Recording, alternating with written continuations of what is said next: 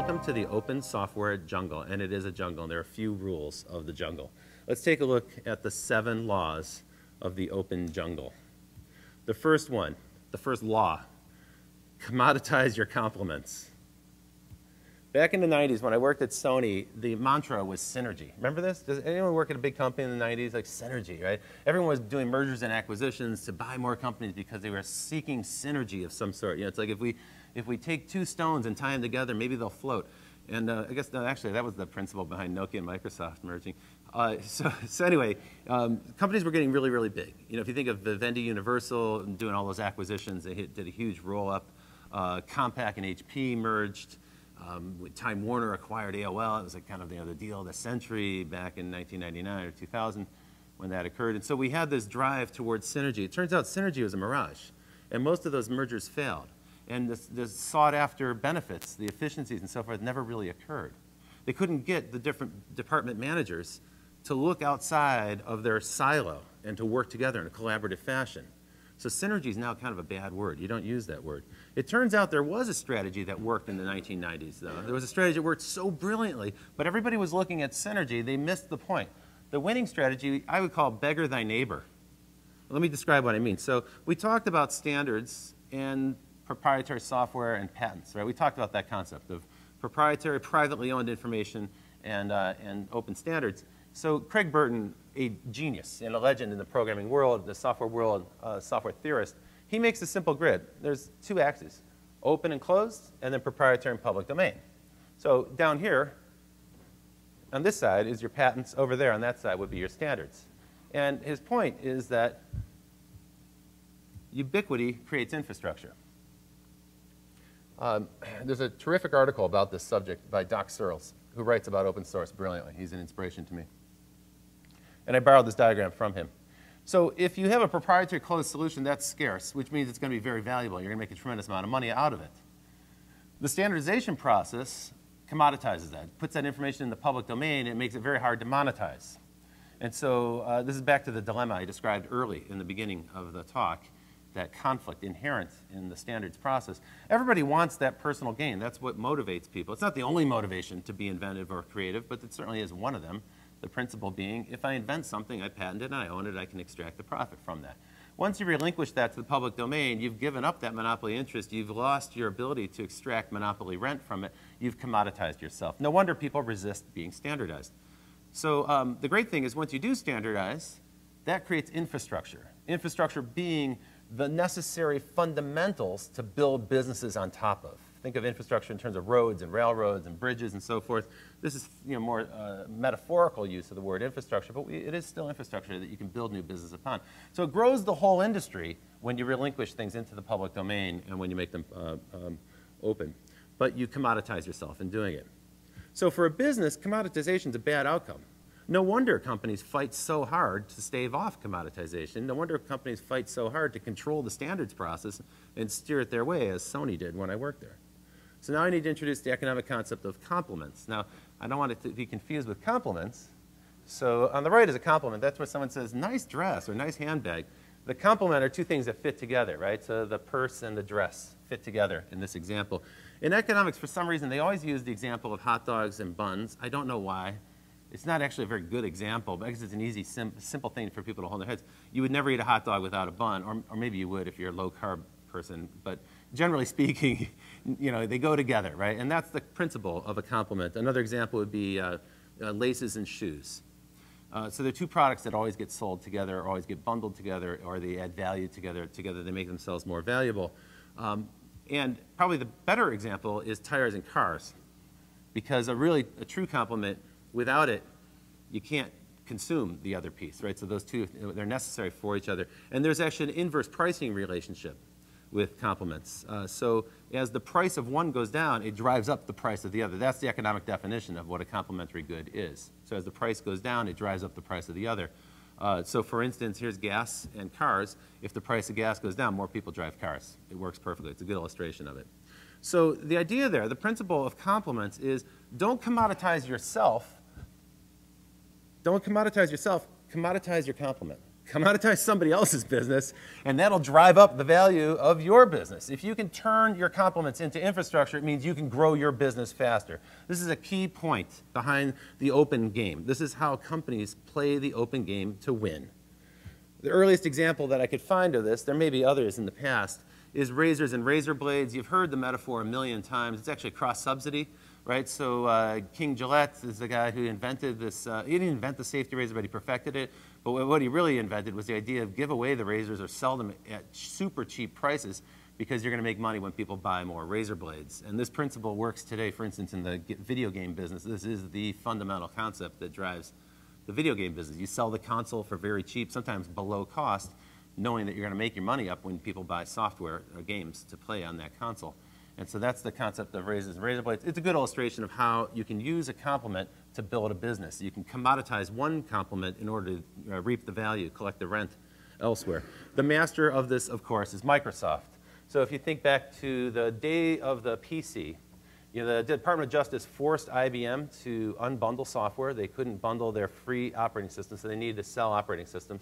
That created a marketplace. Microsoft filled it, and Microsoft did something brilliant. When they created Windows, they noticed that IBM had done a great job of specifying every interface, every component and every, every interface in the PC.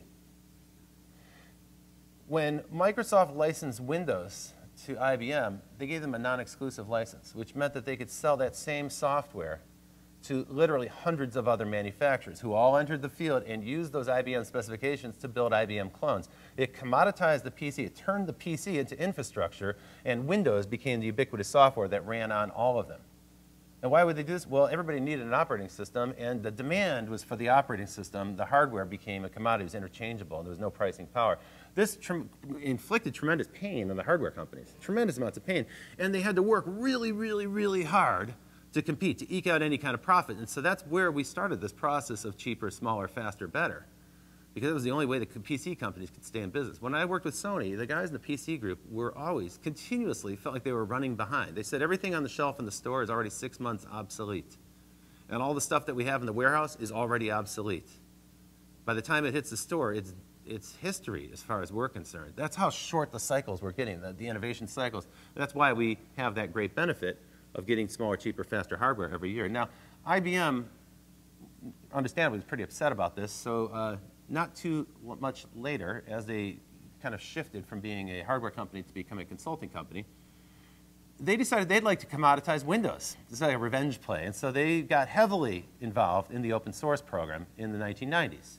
As a consulting company, free operating systems are a great complement to a consulting business. So again, they tried to commoditize the operating system by backing open source because it drove their, uh, their consulting business. By the way, it was a good tactic. It seemed to work for them.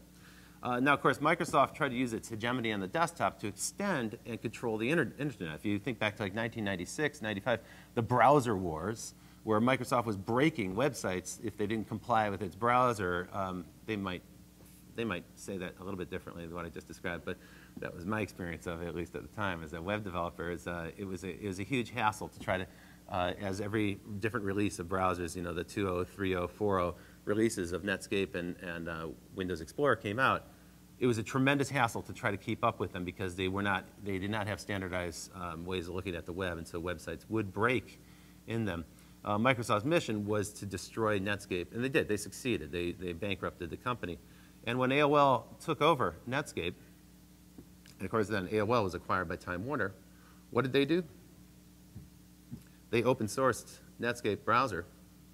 So they made it an open source, uh, the Mozilla Software Foundation was founded, and they open sourced it. Why? Well, because browsers are a great complement to the content business.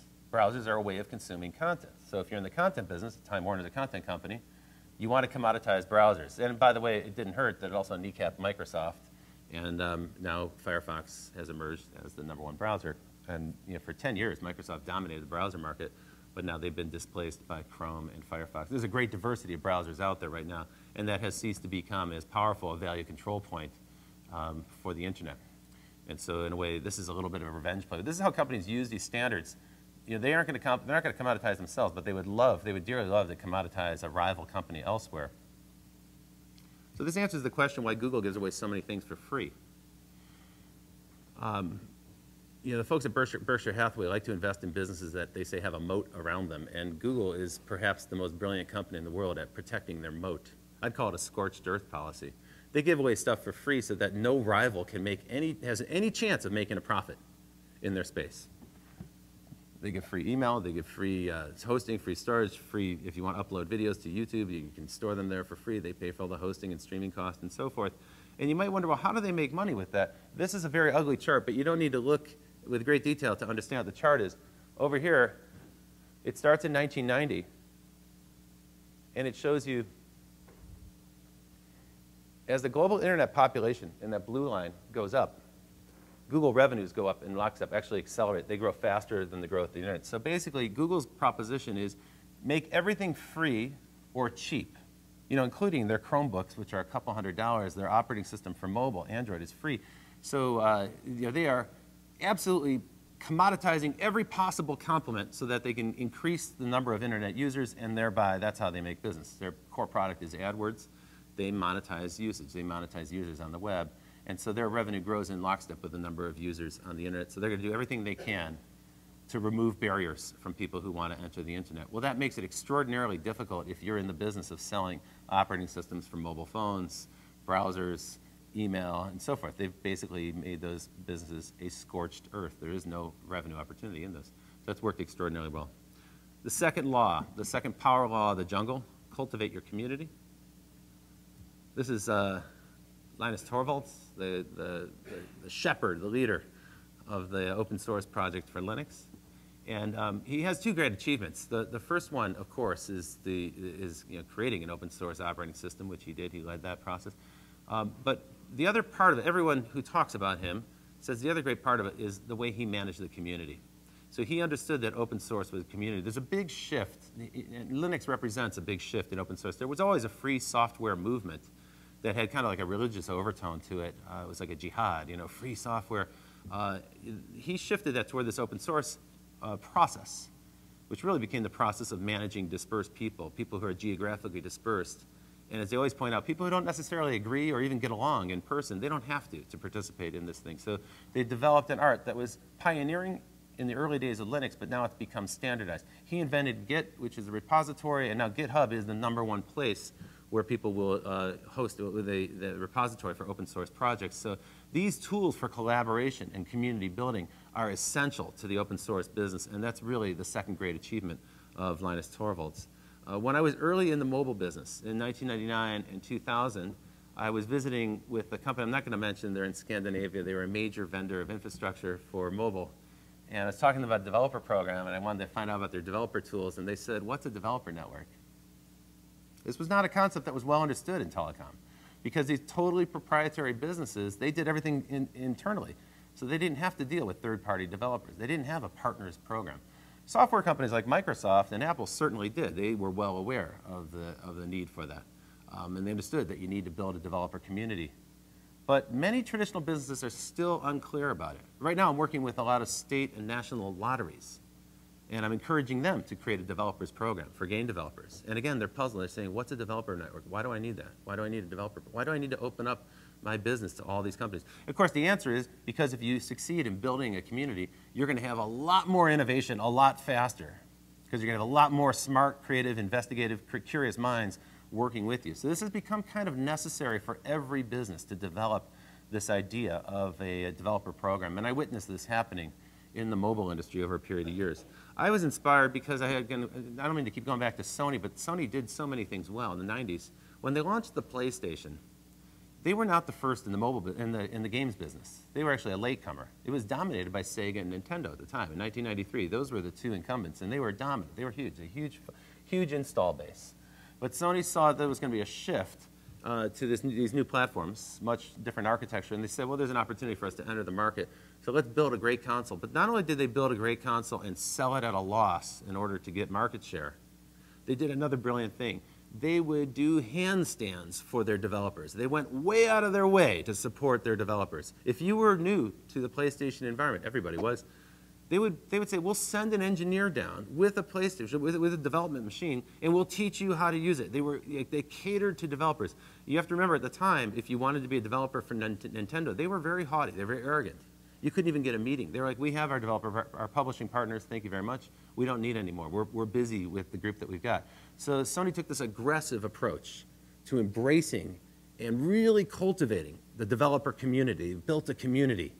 And as a result, they had the most successful game console ever in history, and that continues to this day. PlayStation 1, 100 million units sold. PlayStation 2, the most successful console in history, 150 million units sold. PlayStation 3, 80 million units sold. And PlayStation 4 sold a million units in the first weekend, the fastest growing sale of any new console in history. So Sony understands very well how to run a developer program. I had this opportunity myself just a few years ago when I, uh, I was working for Oprah Winfrey, and just as I left there, I was approached by a company in Germany that had built an incredible platform for games in mobile called Scoreloop. And um, their idea was basically to be the Zynga of mobile games. And I thought, that's a pretty cool idea. They were, um, they were from the banking business, and they understood that those social games where you're doing lots of little transactions and collecting lots of little points they said that's basically a microtransaction platform, and they had come out of the banking business that we know how to build that for mobile phones. We built it for banks. We could certainly build a game platform. They didn't know much about the game industry per se. They wanted me to come join them and be the head of their game publishing. I was very interested. I went to visit them. But after a little while, I spoke to them and I said, you know what, don't do this. Don't hire me and don't set up a publishing company in California. That, was their, that had been their plan because they'd have to borrow $20 million from, from investors to do that which meant that they would have to somehow get to 200 or 400 million dollar valuation in order to satisfy those investors at the end. That's a really tough shot. I said, why don't you just open your platform up? Don't hire any publishing people. Don't even go in the game publishing business. Just open your platform up to developers. Put one person on part-time to manage your developer community. Well, that's what they did. They had one of the engineers on their team. They had, they had 20 engineers. It was a very small company, and they had one business development person. And so the business development person and the engineer went and started to cultivate a developer community. Six months later, they had 1,000 developers. They had thousands of games, many more than any publishing company could have produced by themselves. Thousands of games. And six months after that, they were acquired by BlackBerry for four times the amount that they had sought as an exit. So it was a tremendous success story in a very, very short period of time for this small startup company. The main message there is cultivate your developer community. It is essential. Third law of the jungle, attain rapid scale. This is a fun part of the story. So since 2001, the world's changed tremendously. In 2001, I left Sony to join Packet Video, which is a mobile video company. People thought I lost my mind. I had the coolest job in television. I got to create all this new TV stuff. And I left to go into video on mobile phones. But I saw these numbers there were 250 million people using the web, but there were twice as many mobile phones, and mobile phones were selling faster. And I thought, that's really interesting, because someday you'll be able to put a video signal or a game on those devices. It took a lot of imagination to see it back in 2000. Remember, they were black and white phones, and you could barely do a call with them when you were driving. You would drop the calls and so forth. So if you think back to that time, the phones weren't quite as powerful, and the signal wasn't quite as strong or as reliable as it is today. In just 10 years, look at the change. So we've got uh, 2.5 billion people using the internet. Actually, the number is growing. It's actually higher than that now. Six billion mobile phones in use. This year, 2014, there'll be more mobile phones in use than there are humans on the planet. Uh, there'll be three billion people. We're very, we're approaching very rapidly a point where half the population of Earth will be using the internet in some form or another. And so with this enormous size, this tenfold increase that occurred in the last 10 years, it presents us with an entirely new concept of scale. So last year's numbers. There are 2.6 billion instant messaging accounts, 2.5 billion people using social networks, half of them on Facebook, 750 of them, half of them, using mobile versions of Facebook. More than a billion people watch YouTube every month. Half a million people using Twitter. I'm sorry, half a billion. And at the bottom, these two stats, 74 million WordPress blogs and 170 million Tumblr blogs. I put that there because I think it's really important. That's not people reading, watching, or consuming. That's more than 200 million people publishing and creating content. So it's changing us, right? It's changing us from passive consumers into active participants in a dialogue. People wonder, why does it grow so fast? Why does it move so fast? One of the biggest reasons is that there are no boundaries. The internet surmounts all the traditional boundaries that gated our media businesses. Geographical boundaries, language boundaries, licensing, business rules, and so forth. The internet sur surmounts all of that, transcends all of that. So a company like Facebook can grow to a billion users in a rapid period of time, but they're not stopping there. Mark Zuckerberg is already talking about his plans for the next billion, and his vision extends out to three to five billion users. They may never get there. I don't know if Facebook's going to be around that long, but it's actually quite a heroic vision, right? It's hard to name other businesses that have a vision for five billion customers. And it's not just Facebook. This chart shows you the time it took to reach a million users or a million subscribers. And these are all fairly new services. As you can see, that interval shrinking really, really quickly now because so many people have mobile phones and it's so easy now to download something instantly to your phone and check it out at least once and use it perhaps if you like it, discard it if you don't. So the barriers to trying new things have vanished. And as a result, we can now launch a business that attains great scale, a million users in just a matter of weeks. Uh, here's another view on that same diagram. This is the time it took to reach 50 million people. And you can see radio took almost 40 years. But Draw Something, which was a game that Zynga acquired, it achieved that in 50 days. 50 days. It's amazing, isn't it? Here's a, uh, these are the logos of some apps you may or may not be familiar with, Vine, SocialCam, um, Telly. These are, these are uh, social video or social photo apps. And here we see this dynamic. This is from uh, 2012, but it was quite an ex extraordinary chart. I, I saw these two charts. They're both showing the same month, April to May of 2012. And this is on the left side, SocialCam, and on the right, Viddy, which are just two of many social video apps that are out there. And both of them went from zero to 40 million users in four weeks. So you can attain great scale very, very swiftly if you focus on mobile, if you bring a really small bite-sized proposition, it's not too complex, you can get to great scale very quickly. So we talk a lot about Facebook at 1.2 billion members, but we don't talk about all these other social networks, right? We, we tend to forget that there are hundreds of social networks out there, and most of them have tens of millions, some of them have hundreds of millions of users. Here's a, here's a stack a, a, chart that stacks up the social networks, and you can see that Facebook at, you know, at, uh, 1.2 billion users has 50, more than 50% of the internet users already using it, already accessing it. Google Plus, which is a very new product, it's only a couple years old, is closing in fast, so they have, uh, they have half the size of the audience, but if you add YouTube together, then you can see that Facebook actually has equivalent number of people using social media on there. I'm sorry, uh, Google has an equivalent number of people to Facebook using social media. The rest are Chinese. So most Americans that I know are unaware of companies like Weibo and QQ's, uh, Tencent, WeChat, and so forth. But these companies are aggressively launching social networks, and they're growing very quickly. In fact, in mobile, they're more successful than the American companies. People are shocked when I tell them that in the future we'll probably use Chinese social networks. Sounds like a crazy idea because software always comes from California first. Nobody buys Chinese software. But we used to say the same thing about Japanese cars when I was a little kid, and that changed. And I think in the future it won't be so surprising to use software from China, as shocking as that sounds. Skype, a software product developed in Estonia, 280 million users. We, we all know that, right? It's gigantic uh, on a global basis, very popular outside the United States in particular, where international calling is expensive. But what we don't think about is that there are a bunch of other apps that have even larger numbers of users or equivalent sized audiences that do something similar. These are chat apps and messaging apps, a very fast growing area. And in the area of, of, photos, we know Flickr with 87 million accounts. But do you even know about Camera 360? Has anyone even heard of Camera, Camera 360? We have all heard of Instagram, of course.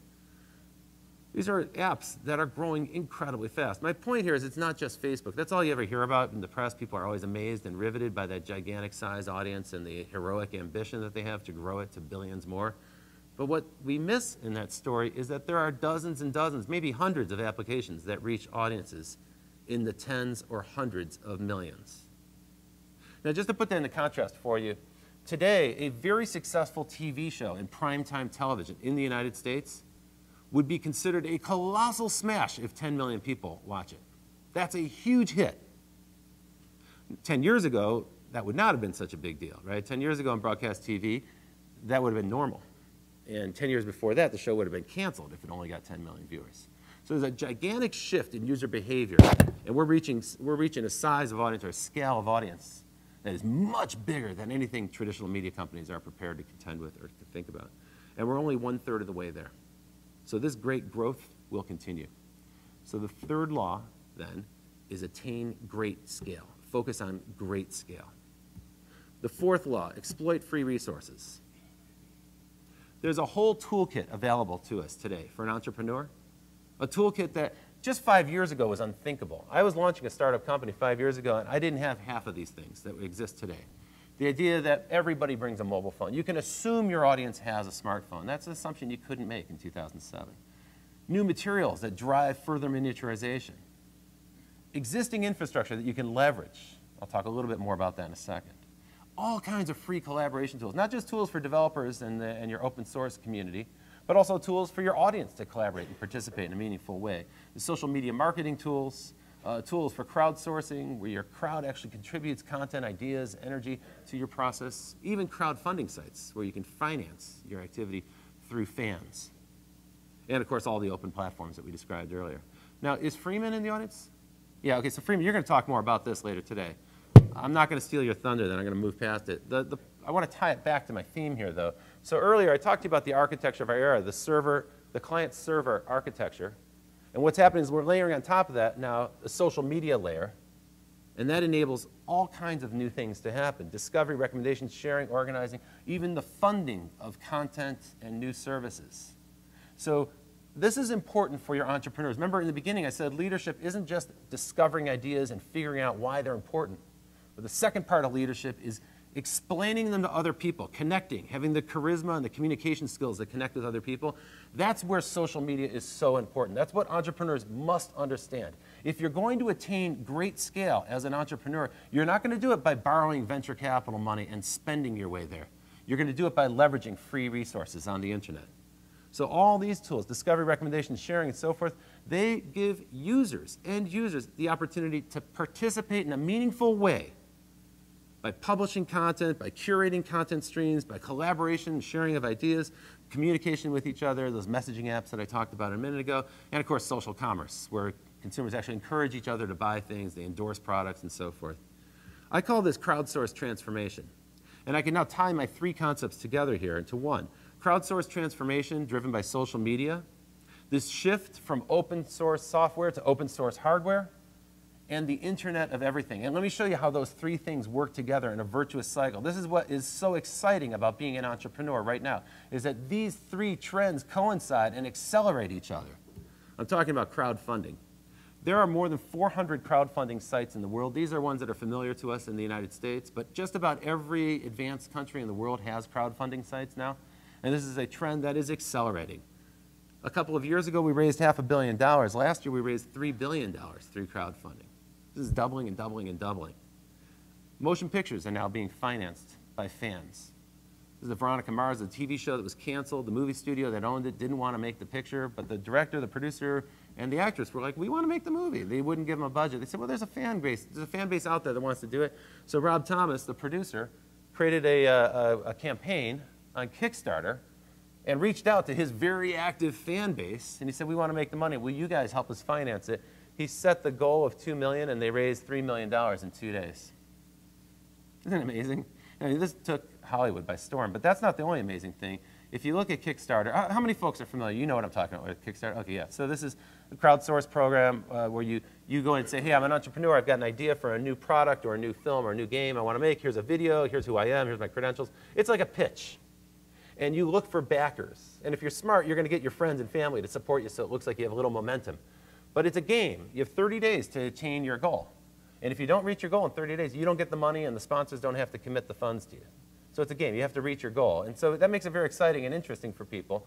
But there's a cool psychological effect that kicks in, which is if you back a project as a sponsor, it's something you're, you're excited about, and you see it might not reach its goal, you're going to start using social media to convince your friends to join in and participate in that program. So the people who are best at this are doing some extraordinary things. Now, um, at Kickstarter, last year, 10% of the films at the, at the Sundance Film Festival were financed on Kickstarter in this fashion. So, you know, Sundance is the independent film festival. It happens in, in uh, Utah each year.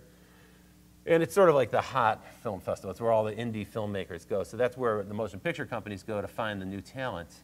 And what they're discovering now is that that talent is going directly to customers, going directly to fans to crowd fund the development of their motion pictures. That's a gigantic shift that never happened before. That's a, a huge sea change. And it's not just motion pictures. Ouya is a game console. A bunch of people from the game industry got together. and say, hey, we want to create a new console using the Android operating system, open source. There's already a bunch of Android games for phones. We'll have all that available. And we're going to make a little, a cool, they got, um, they got, um, uh, I'm trying to think of that guy's name, the, the designer, Yves Behar, to do the design for it. And, um, and see, it's a cool little silver box. They sought to raise a million dollars, and in the first weekend, they raised a million. Two days after that, they raised two million, and by the end of the campaign, they had blown through eight million dollars. That's like a Series A and Series B financing for a startup company, all collapsed into a, a four-week cycle, all from fans, all from people who say, I like this idea so much, I'll pay for it in advance of a product even existing. I'll back your, I'll back your action. I'll give you the money now for that product next year. It's an astonishing phenomenon. 3D printing, all the innovation in 3D printing from the consumer grade pro, uh, printers is happening on Kickstarter and other crowdfunding sites. This is the Buccaneer. And again, they set out to raise $100,000. They raised $1.5 million in 30 days. 3D Doodler, which is a, a, draw, a pen that allows you to draw 3D objects. It's sort of a kind of a glorified glue gun, I think. That's not a very nice way to put it, but that's what it seems like to me. Anyway, they set out to raise $30,000. They blew through that. They raised $2.3 million in their 30-day campaign. There are dozens of other 3D printing projects on Kickstarter. If you search Kickstarter for 3D, you'll see many other great innovators are out there talking to fans about this exciting idea of 3D printing, and they're getting backing and support from their fans in advance. Not limited to 3D printing. Wearable, wearable watches, uh, the first actually big success on Kickstarter was the Pebble watch, which is really truly the first wearable computer wristwatch. And now there's all kinds of smart projects. Uh, Pine, they sought, out, they sought to raise $100,000. They raised 800,000. This is Agent, supposedly the world's smartest watch. It looks cool. They set out to raise 100,000. They raised a million dollars. Uh, this is a different site called Indiegogo. It's, a, it's an alternative to Kickstarter, a rival, I suppose. Kreyos is another smartwatch. Again, they raised $1.5 million. These are significant funding levels. This is kind of par. These are the most successful funding, so don't get me wrong. This is what most people experience. Most of the funding that happens on sites like Kickstarter is in the $10,000 range, much, much smaller. But one thing you'll notice is a consistent pattern here is the entrepreneurs are setting their goals modestly. They're saying, I want to raise $30,000, $20,000, 80,000, maybe $100,000. But then they have a sort of snowball effect because they reach that goal quickly, because it's a modest goal. And then all of a sudden, more and more people get excited about the idea and they start pre-selling their products and they can raise even more money. And there's a wonderful thing happening if you watch a Kickstarter campaign go on where the entrepreneurs come back every day, right? They're on the site giving you new updates, going, wow, we blew through our goal yesterday. We tried to raise 100,000. We raised 200,000. So if we get another 1,000 people backing this, here's a few other goodies we're going to throw in. And they keep offering more better stuff. You know, we'll engrave your name on the back of it. We'll give you a special case. We'll give you an extra controller or whatever the device might be. And so it gets very exciting for people. And this is a really, really cool idea. This is about communicating and connecting with fans which again is an essential skill for entrepreneurs. It's not just about designing hardware, developing a new solution. You have to communicate it to people. And here what we're talking about is communicating the value of the product before the product even exists. So social media is a fundamental change. It's actually transforming the way we learn about ideas. It's, it's transforming the way we, we find the ideas, discover them, talk about them, and ultimately fund them. That's a gigantic shift. The next power law, leverage someone else's investment. It's a great idea, right? Other people's money. Why spend your own money if you don't have to? Today, you don't have to. We have the cloud. In 2007, I was starting a company, and in our financing plan, we had to answer the investor question of how do you deal with scale? In the event that you get a massive onrush of user activity fast, how are you going to meet that demand? Because they didn't want your website to break. That was an issue. And so to answer that, we had to invest money, precious startup capital, in servers and rack space, infrastructure, stuff, stuff that today you just don't need to do you go out to the cloud. You can buy infrastructure on demand. You can scale it as you need. You just turn a knob. We're all familiar with these sites, Netflix, Airbnb, Pinterest, Spotify, Scribd. These are some of the most exciting new digital services that have been introduced in the past five years. They all have one thing in common. You know what it is? Amazon, somebody said, yeah. They're all run on Amazon Web Services. It's extraordinary. So Amazon is the master of the API. About more than 10 years ago, Jeff Bezos sent out a, memo to everybody, said, I don't want memos, I don't want inter-office communication or meetings anymore. Just your department should publish an API to the other departments, and if they want to use the services in your department, they can just write to your API and take advantage of no more meetings, no more memos. Once they did that, they were like, why don't we open these APIs up to the rest of the world? And they did. And this is an extraordinary story that isn't told enough. Amazon is perhaps the most brilliant company in all of digital media. They are truly rewriting the rules. So they needed a huge amount of infrastructure to run their internet services. They said, why don't we open it up? Let's give an API to people so that they can leverage this themselves. And one of the things that Amazon has done to be so successful in, in, uh, in the web services, in, um, in cloud, is that they continuously drop the price. They don't raise their price, they're dropping their price. It defies logic. It's extraordinary because they're growing so fast they can afford to keep cutting the cost. And that means that they have the lion's share of, uh, of web hosting, web services, or cloud services today. So it's an extraordinary story from Amazon. 1% uh, of all internet traffic runs across their servers on any given day. One third of internet users touch one of their servers. And they are the, large, the fourth largest content distribution network in the world right now. And nobody even knows this. It's like just a little sort of side business that they have. It's a pretty big business. So the way my friend Andrew Hessel put it when we were talking about biotech is he said the next biotech billionaire is going to start his company at a Starbucks with a laptop and a cell phone. Isn't that extraordinary? But it's really true. This has knocked out the need for startup companies to raise tremendous amounts of capital from skeptical investors and earmark it for software and servers and stuff that if they go belly up are just going to be auctioned off at, at bargain prices. This is a terrible waste of capital.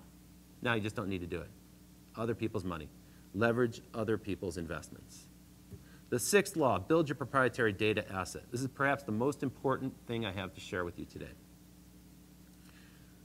When I visited Union Square Ventures in New York, I was talking to them about a project, and they said, I don't see it. I said, why not? They said, we don't see what the proprietary data asset is. I said, well, what do you mean by that? And they said, well, we only invest in businesses where more users contribute more data and that data becomes something proprietary to that service. So they are investors in Twitter. Uh, they're investors in a number of the microblogging platforms and other communication. But you think about those services, the more people use them, the more data is created, the more that that data asset grows. This is crucial. You see uh, a lot of futurists, I don't really bill myself a futurist as a nice introduction, but a lot of futurists will grant, make these grand pronouncements like this one, data is the new oil, right? We've been hearing this buzzword for a few years. What do you mean by that? What do you really mean by that? Yeah, I mean, there's a kind of a boom, right? An oil boom, maybe a gold rush mentality around it. I look at it a little differently. I agree with the phrase. The way I look at it is data is a giant untapped resource. It's like a natural resource, except it grows at an incredibly rapid rate. And so every business that you launch today, if it's going to have software and apps in it, and I believe all of them will, that means there will be data, there will be metrics, there'll be information gleaned from that, and that will become a very, very valuable part of your business. Check out these charts. So this is a chart that's from a couple years ago. It's from the, uh, the Economist magazine. And um, it showed the available storage versus the amount of information created. The reason I share this with you is that in 2010, we crossed an important threshold, which is that we created a zettabyte of data in, uh, in, in 2010. That's an extraordinarily large amount of data. A zettabyte is a 1 followed by 21 zeros. It's a very large amount. You could fill a football stadium with DVDs and still not have a, data, a zettabyte of data. But that's not, the, that's not the most extraordinary part. What's extraordinary is that chart projected out continues to grow.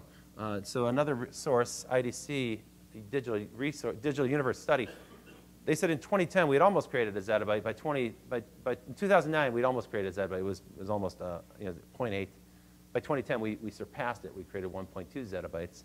But by 2020, we're going to create 35 zettabytes of data a year. So data is growing at an extraordinary rate. I can't, I don't have time to dwell on this more, but just simply the main message there is understand what the proprietary data asset at the heart of your software is. How does your system get smarter with more users? How can you learn from more users and improve your product? That's the question that I would ask every entrepreneur. If they can't answer it, I send them back to the drawing board, as Union Square Ventures did with me. The seventh law, master your ecosystem. The story of the demise of Nokia is an extraordinary story. It's an extraordinary story. In 2007, Nokia was dominant, utterly dominant. They controlled the smartphone market. It appeared to me that they were going to win. They had just open sourced their Symbian operating system. It looked like they were making all the right moves, but in fact, they were in a state of rapid decline and they didn't even know it. Stephen Elop joined them from Microsoft and, uh, about three years ago, and when he arrived there, he was alarmed to discover the situation was worse than he had thought, and he published his famous memo called the Burning Platform Memo. Not going to recap the whole thing, but he pointed out that their competitors weren't taking market share with devices. He meant Apple and Android. They weren't stealing market share with devices, they were stealing market share with an ecosystem that included a great big developer network and the APIs to support those developers and all the apps that the developers built. That's the ecosystem. And so you must understand the new ecosystem. If you're going to operate in the space where intelligent devices are connected to networks and they talk to each other and they share data, you must understand this ecosystem. The future business landscape is going to be controlled by entirely new value, value points, value control points that have been introduced. We can identify, here are four of them that I know well.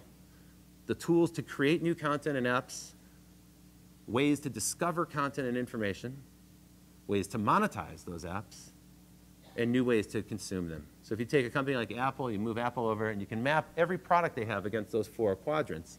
You can see every, every, every product made by Apple includes tools for content creation, great tools. You know, iPhoto comes with every computer that's sold. Uh, they have a great developer program. They have great tools for discovery. I put Siri there because I believe Siri is their way to combat Google. Siri is their vision of the future of search. You'll talk to your device. You're not going to go to a search web page or a search bar and type in a search query. You'll just talk to your device. Your device will be smart enough to find it for you. So in that way, uh, Siri is about discovery. Monetization, Apple continues to dominate. They are the number one source of digital revenue for most media companies and all the apps companies and mobile companies. And consumption, Apple's done a brilliant job of making desirable devices, devices that are so, so attractive. As Steve Jobs said, they're so attractive people want to lick them. But then if you take Google and you apply the same chart, you can actually map everything Google does to it. To it. So you can look at the left and you say, oh yeah, they have a lot of tools for content creation. They have a robust developer program around the world. They also have master, master the art of discovery. Um, you know, I have uh, uh, Google, of course, search there, but if you, um, if you haven't checked out Google Plus, you should. It's growing very quickly. It was derided as a Facebook clone, but I believe Google's got a much different strategy. I think it's worth checking that out. And Google Now, have you got, who's got an Android phone and uses Google Now? It's, a, it's great, isn't it? I mean, actually, it's better than some of the Apple apps that are out there. It's really very impressive. In terms of monetization, um, Google got a lot of pushback from game developers and app developers because you couldn't monetize apps quite as well in their store. But that's over now. Now they're almost at par with Apple. So they're, they're, they're monetizing content quite well. But where Google dominates is advertising. And so they have this incredible cash engine. That's what drives all that free stuff that they're able to give away, that free stuff that scorches the earth to would-be rivals. And then to, in terms of consumption, now they have a product in every category that Apple has a product in. They just introduced a desktop computer, a Chrome-based desktop computer. And so they compete with Apple toe-to-toe on hardware as well. And now with owning Motorola, um, they're going to extend that. By the way, did you notice that um, Google quietly acquired eight robotics companies in the past few months? Yeah, kind of an amazing thing, right? So if you were in the robotics industry right now, I think you'd, you'd be sh shaking in your boots looking at this. You go, gosh, what's Google's play? Robotics is an extraordinarily difficult business to make money in. It's expensive. And we're not talking about a phone. We're talking about a thing that moves. It has all kinds of mechanical parts. That's a gigantic challenge. The engineering challenges there are massive. The costs involved are massive.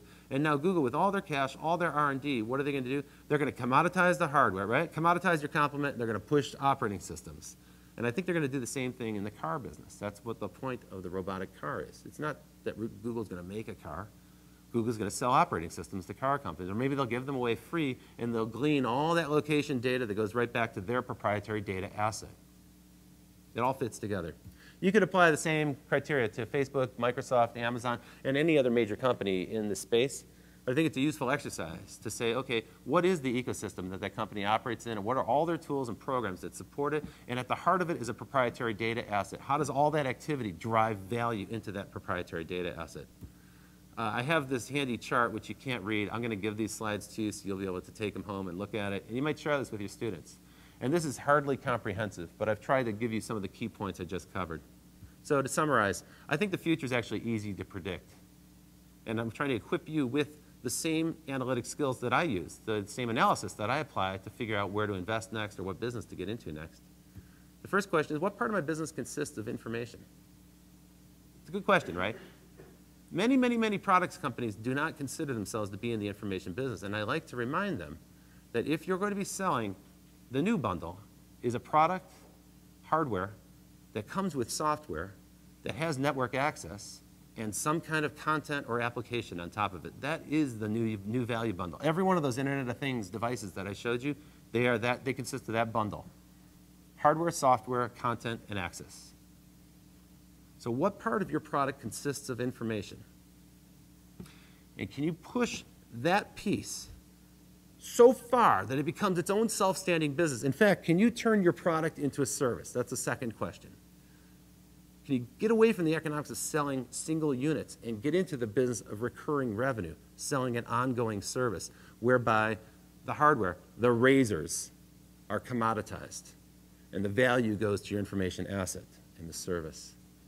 And finally, how can I leverage other people? How can I leverage the crowd to propel my innovation even faster? This is really hard for entrepreneurs because they think they're the creative ones. It's the ego of the entrepreneur. You need a certain amount of ego strength to launch a business. So the entrepreneur says, I'm the one with all the ideas. I've got the vision. I'm Steve Jobs. Okay, not everybody's going to be Steve Jobs. The smart entrepreneur does the Zen thing and opens up. Opens up an API, opens up a developer program, creates a community around it, maybe opens up his source code and invites people to participate and finds other ways to monetize around it. Because that way he's going to harness the creativity and ingenuity and innovation of thousands, maybe millions of other people. And finally, at the core, what is my proprietary data asset? In success, at scale, when millions of people are using this, what information gets generated and how do I make a business around that?